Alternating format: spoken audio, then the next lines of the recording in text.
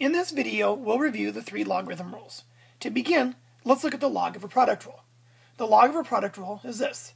Log base b of a product xy can be rewritten as the log base b of x plus the log base b of y. For example, if we take log base 3 of 7x, we can rewrite it using the idea that the log of a product can be split as the sum of two logs.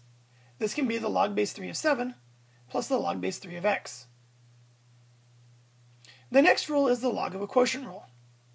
Log base b of the quotient x divided by y is equal to the log base b of x minus log base b of y. Here's an example. Log base 5 of x over 7 can be rewritten. We can say this is log base 5 of x minus the log base 5 of 7. When you do a problem like this, the piece that's subtracted will always be the denominator. That's the piece on the bottom for the division.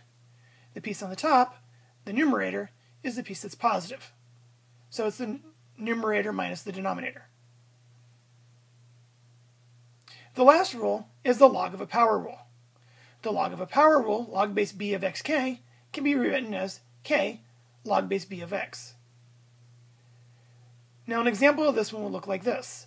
Log base 4 of x to the 6th can be rewritten we can take that x to the 6, which has an exponent of 6, and bring it to the front. We can say this is 6 log base 4 of x. Now this one I want to explain why it is. If we're saying log base 4 of x to the 6th, this can be rewritten as the log base 4 of x times x times x times x times x times x times x, 6 times.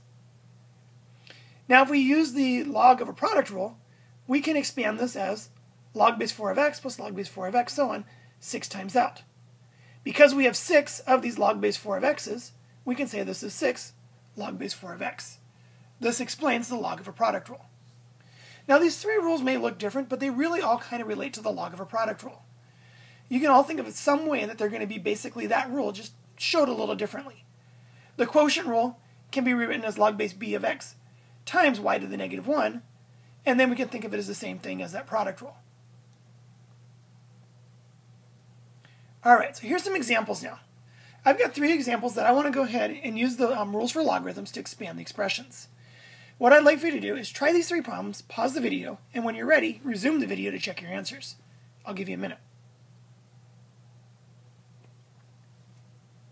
All right, hopefully you've had a chance to do these. For the first one, we're going to expand it by saying it's log base 2 of 11 plus log base 2 of x cubed. Now, we probably don't want to leave it like this because we can take that log base 2 of x cubed and rewrite that using the logs of a power rule. We can say that's log base 2 of 11 plus 3 of the log base 2 of x. For the next one, we can say this is log base 5 of 125 plus log base 5 of c. Now I can simplify that log base 5 of 125 because 125 is a factor of 5. 5 to the third is 125, so the log base 5 of 125 is just 3. So I get 3 plus log base 5 of c. For the last one, we're going to, use the log of a quotient rule. We'll say this is log base 4 of 14 minus the log base 4 of h to the fifth. Now again, that piece that has that h to the fifth, I probably want to rewrite and say it's log base 4 of 14 minus 5 of the log base 4 of h. Now for the next three problems, we're going to go the other way. We're going to use the rule of logarithms to rewrite each expression as a single logarithm. I'll do the first one with you. If we take the log, base 6 of 7 plus the log base 6 of p, we can rewrite this using the log of a product rule. Right now we have the sum of two logs, which means I can write this as the single log of the product. I can say this is the log base 6 of 7 times p. Now I'd like for you to try the next two problems, pause the video, work it out, and resume it when you're ready to check your answers. I'll give you a minute.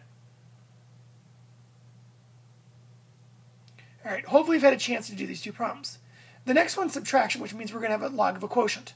This is going to be log base 3 of 2 divided by y. And that'll going to look like this, log base 3 of the division, 2 divided by y. For the last one, I've seen that we've got log base 2 of 9 plus, which means we're going to have a, product, but I've got 4 log two, uh, base 2 of r.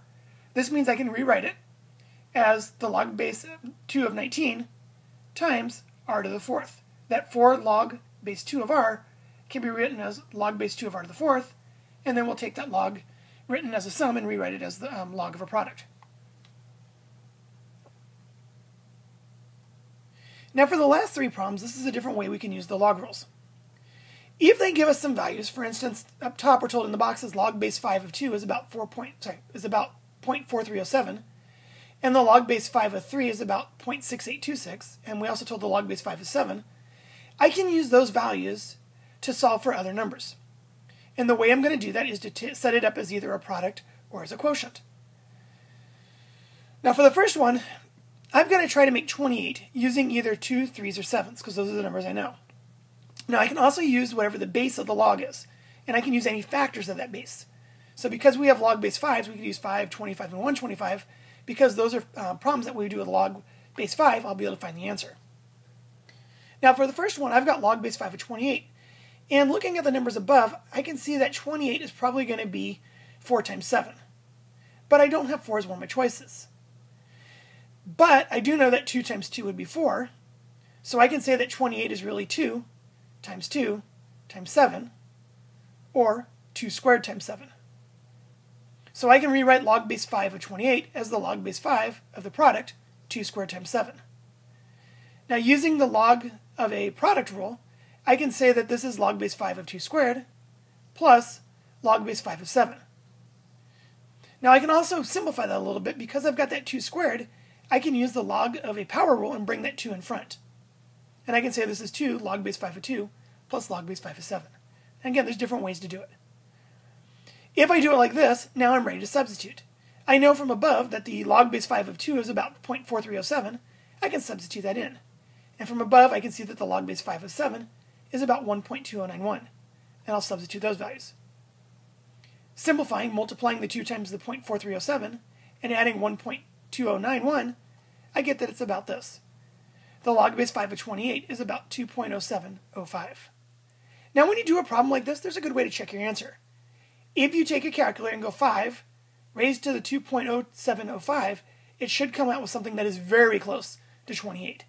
So it's a good way to check your answers if you're done, and especially if you're not sure. Now the next one, I see that we've got a log of a quotient. So I know at some point I'm going to be doing some subtraction. I see that I can do log base 5 of 3 on the bottom. That I got a value for. It's about 0.6826. But that 14 I don't have.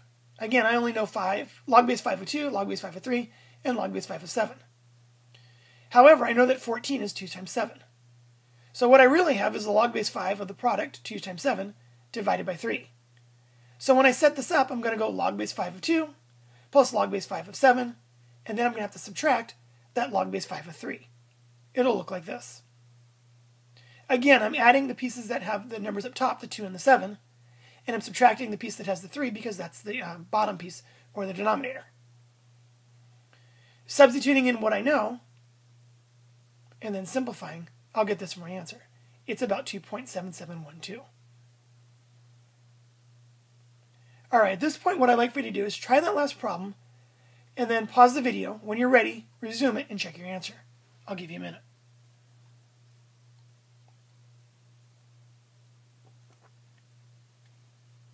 Well, that log base 5 of 16, I'm going to have to use something as 2 to the some power. Well, I know that 2 to the fourth power would be 16, so I can say this is log base 5 of 2 to the fourth, or log base 5 of 2 times 2 times 2 times 2.